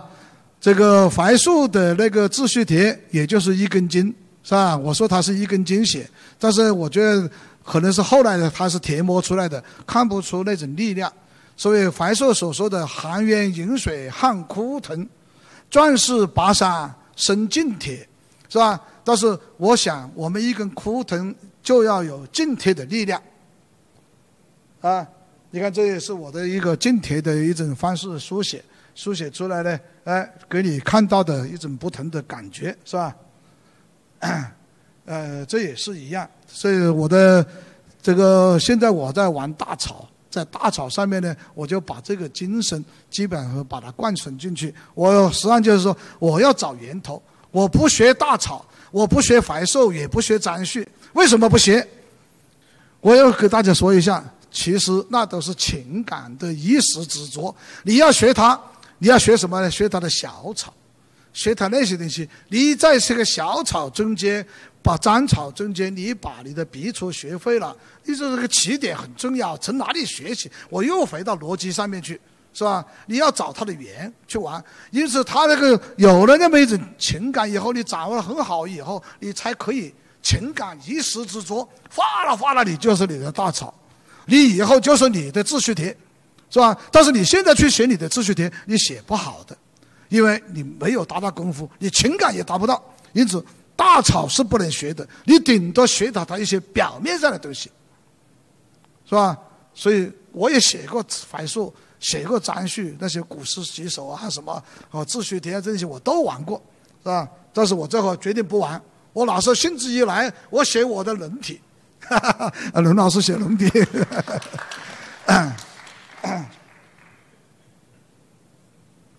你看，这是我特别喜欢的石门顺嘛？我说，我在这是在临摹做石门顺的这些，啊，啊，这也是以一种这样的笔触来写一些东西，是吧？啊，你看这个石门顺的这个笔触，你看这么几根筋，是吧？这么几根筋你写出来，你也不会觉得它单薄吧？是吧？你线条有力量，又有灵动感，写出来它就会很好的。啊，击鼓无闷，楚河乃清，啊，这个呃，大概是王辈三人啊，邓邓世瑜的这个一副对联，我就觉得这副对联我很喜欢。我到时候我最后就引这个呃章草啊，这个这个呃石门顺的这个笔触把它写了出来了，是吧？好，呃，我也玩玩这个小呃变体，是吧？写了“坐忘”两个字，“坐忘”是庄子的一句话，“堕肢体”是吧？呃，逐成名。离形去志，腾于大腾，此谓作万，是吧？他要你把这些东西，村民都去掉，肢体都不要，由神去由教吧，是吧？就是作万了。好，讲学就到这里，大概就是啊，谢谢各位啊。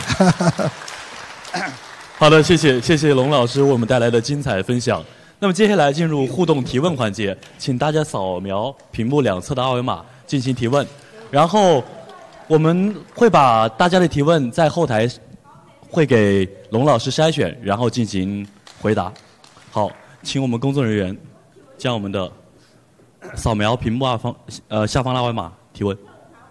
我们老师也会进行筛选，因为时间关系。好，大家可以，大家可以扫码提问。对这些问题。您可以选择一下。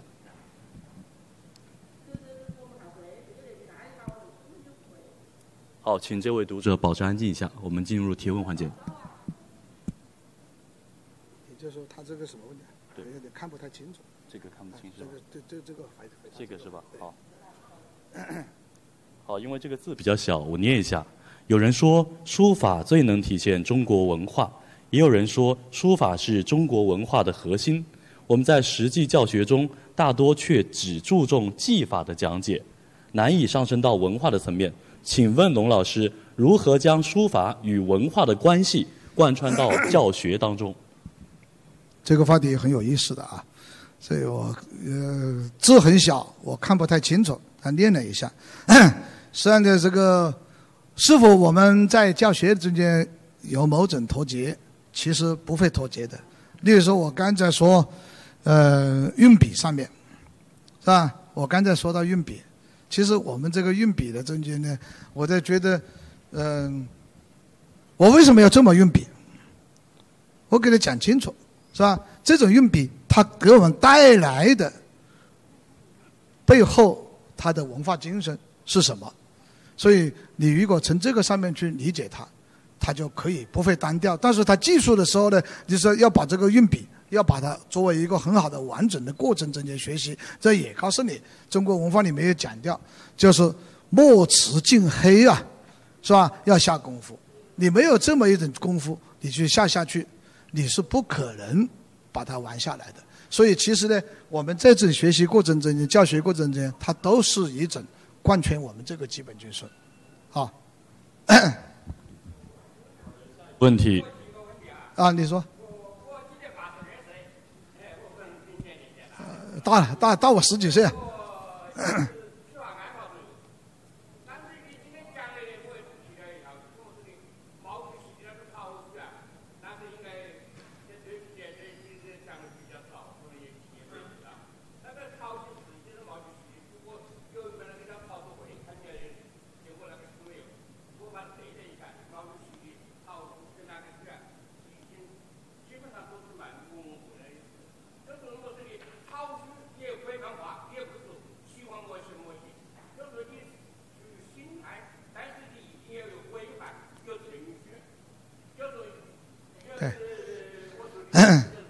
对对对对对对啊！我理解这个呃老徐啊，你是这个大我大我十二岁啊，呃是不是属马的啊啊？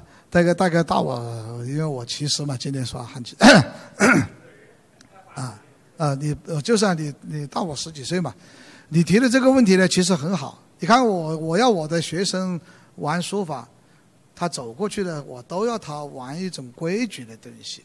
例如说，我要他们玩粘草，我说你先从粘草的规矩玩起，那里面实际上就把这个符合了你所说的草书会里面那些基本东西，是吧？毛主席的草书呢，他有很多他不是很规矩，但是呢，因为他的情性不在那里，他的经常他的草书里面经常有很多是行书草书法。是吧？但是不影响他我们对他的看法、书法的那种表现。所以，所以其实呢，我们的呃，你如果从完全从这个草书的这个角度上来说呢，呃，你要好好的玩草书。这种草书，我刚才说不要玩大草，不要学大草的目的就是说，你要在小草里面把规矩玩下来。啊，好。啊，是我，啊，你说，啊。